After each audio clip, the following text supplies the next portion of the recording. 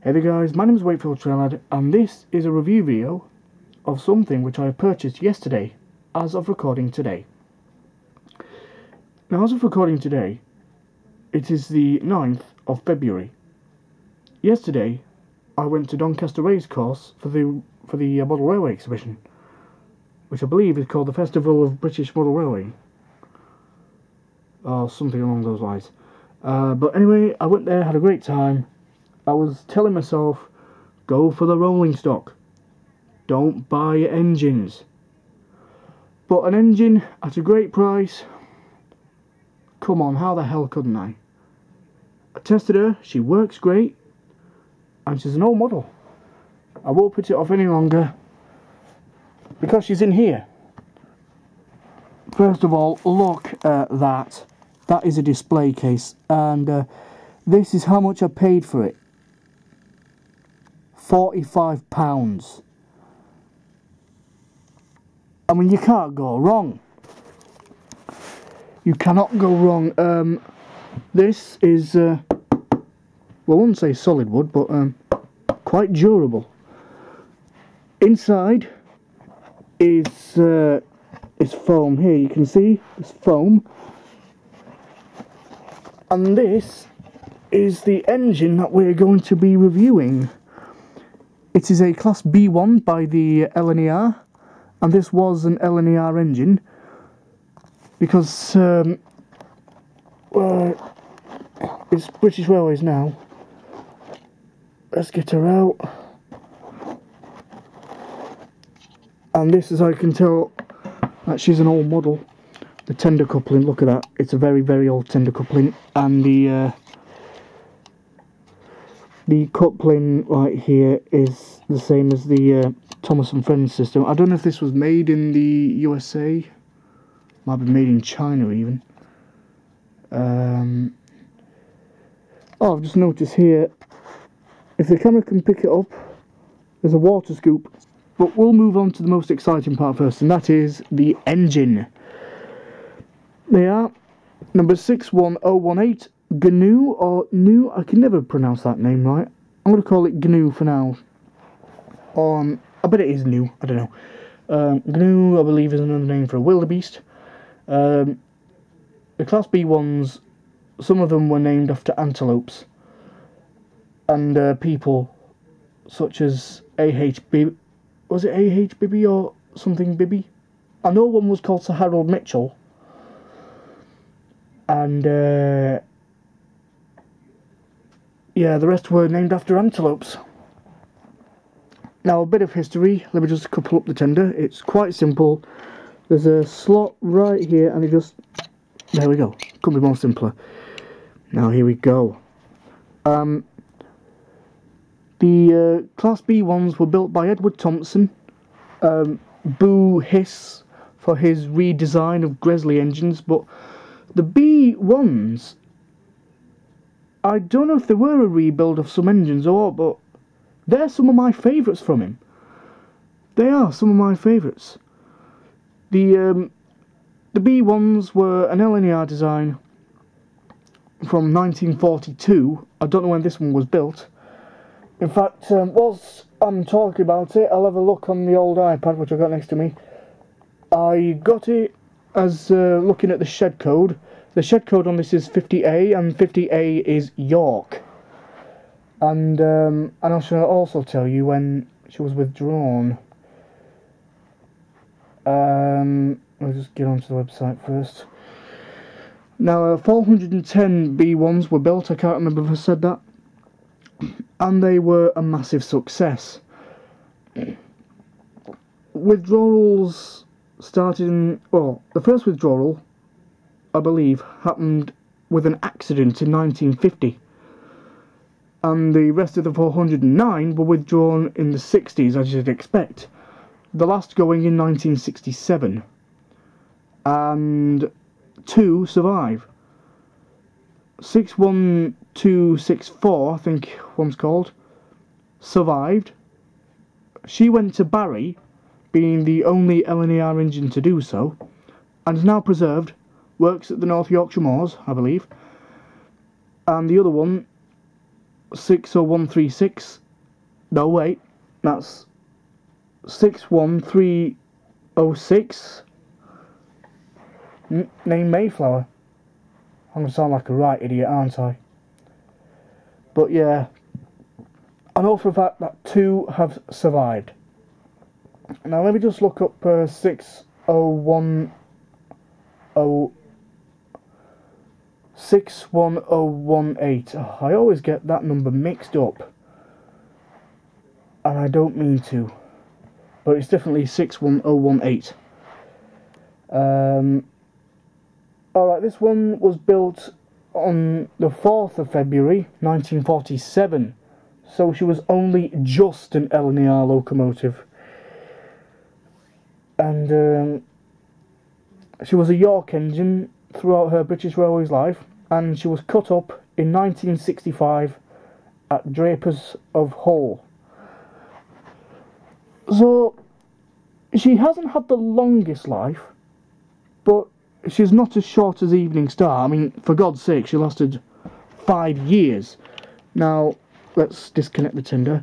Now, there's something that I don't see that often. That's a driver you don't have a fireman, but that's okay. You can add. Because this is an older model, you don't have much detail in the cab.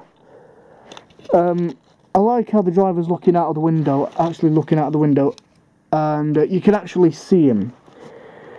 The, there, I don't know if the camera will pick it up. And whilst on the front, here's the front. And a um, lamp there. If you were doing this realistically, you'd have this running either with a brake van or light engine. That's the brake van for no, that's the uh, lamp code for light engine. I hope I haven't said uh, brake van all the time. But here's the front. The front looks a lot like a Black 5 and, a, and I believe that they were the inspiration for them. I know that they were classified as a 5MT, so they could do uh, goods and passengers, and we've got a wonky thing here. Yeah, uh, 61018, right there, my finger might have been in the way and 50A, which is York. For those who don't know, if anyone's ever been inside the National Railway Museum, you see all the engines, Evening Star, Ellerman Lines, um, who else is there? Lodestar, all them. That was York Shed. So you can imagine way deep down until, in this engine's case, 1965, where this engine stayed. Absolutely incredible. Now the now the detail on this is very basic, but I like it. It's an older model, and I appreciate it for what it is. And here's the Walschaerts valve gear. Here's the close-up of. Um, well, you can read that. I'm not going to butcher up the name anymore that I need to. Um,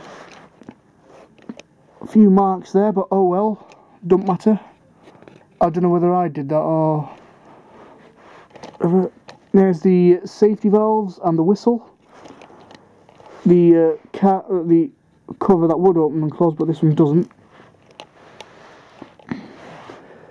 And of course, being an older model, you do not get spring buffers. Nope, ain't get a spring.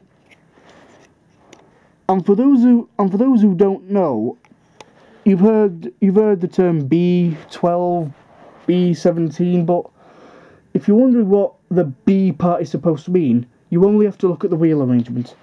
On the LNER, the B class had a 460 wheel arrangement. If it was a 462, it was an A class. If it was a 460, it was a B class.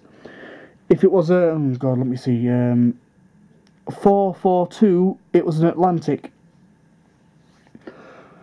J class 060, Y class 040. And can I give. Yeah, one last. Uh, pardon, pardon the dog barking.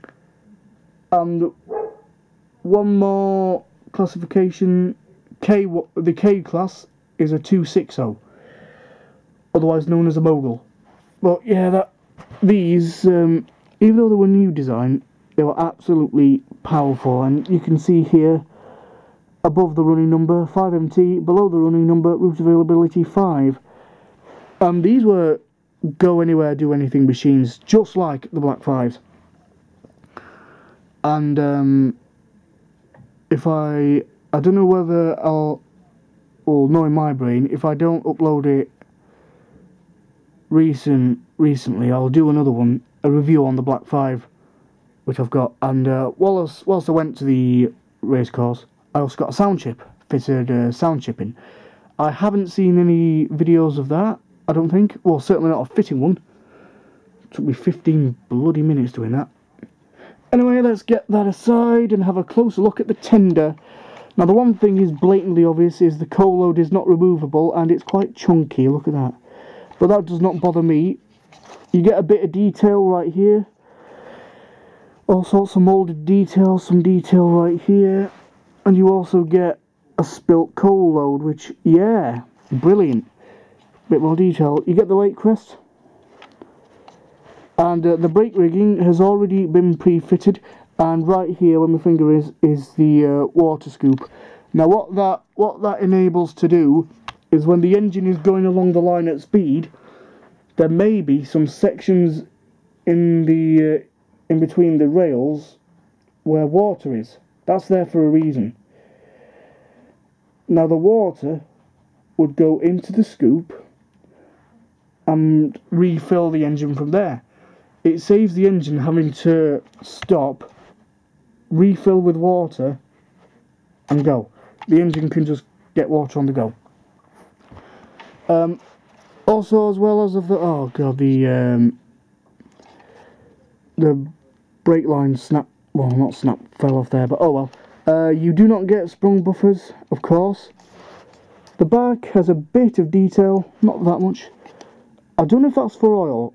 Uh, someone please tell me in the comment section what that's for. Um, underneath is pretty simple and it's pretty lightweight.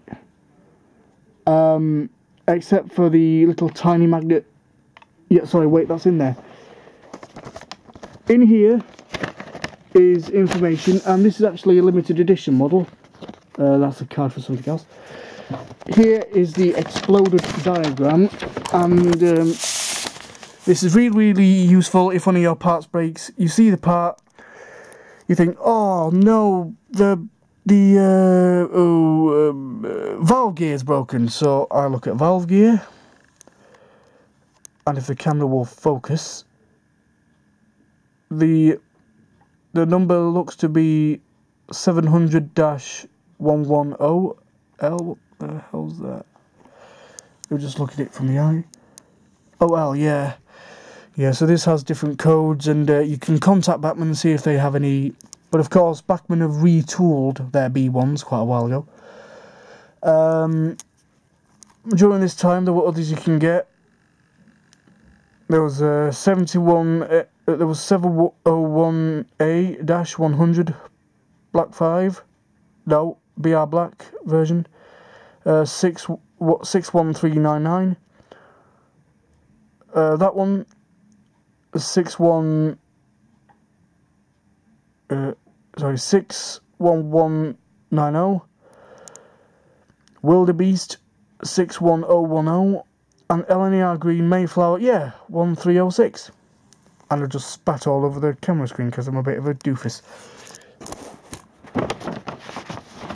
Let's just put this carefully away and let's have a look at the certificate. Um, one of a hundred pieces, so this is quite a rare model. One of a hundred pieces, specially produced by Bachmann Industries Europe Limited, um, exclusively uh, exclusively produced for the United States of America, which is where the E-Comedy first originated from. And this is number 87. So it's quite high, but as a but as I've already said, this is a rare model. And I say, old on you, if you get a limited edition model, get it. I urge you to get one. So that was the review on the Class B1. I rate her an 8 out of 10 because she's not DCC fitted already. There's no way you can get a chip in her she's not as good as the runner as the Hornby or later B1s are. Hornby or Bachmann, sorry.